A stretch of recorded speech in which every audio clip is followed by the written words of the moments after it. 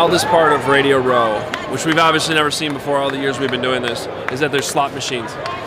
I've never put this much money in a slot in my life because this is moronic, but maybe we'll win. Won't go in. Don't put it in. You won't get it back. Won't go in. Oh. See, I told you it wasn't real. It's not real.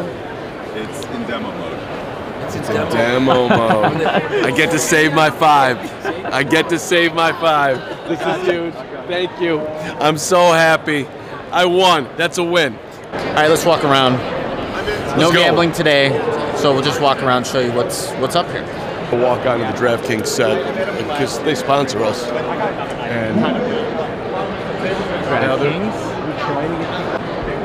if you look really closely, you'll see Mike Golic. Got it. So, so That's cousin Sal, who does the pod with Bill Simmons. Every Monday morning when I drive down to CHGO, that's what I'm listening to. It's the best way to recap everything that happened on Sunday that I missed. if you get tired of cousin Sal, or just tired, you got to find a chair to sit. And this is what I do.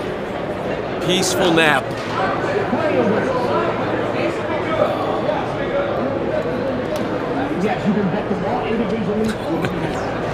It's AP all day. All right, this is the Sirius XM set. They do all their shows here all week. Not all their shows, but like even their non-sports shows. So inside these ropes are usually Famous. well-known celebrities like Flavor Flav. Well, that's basically what Media Row's all about. All these different places, meet a bunch of different people, ask them to join the show. Maybe they do, maybe they don't.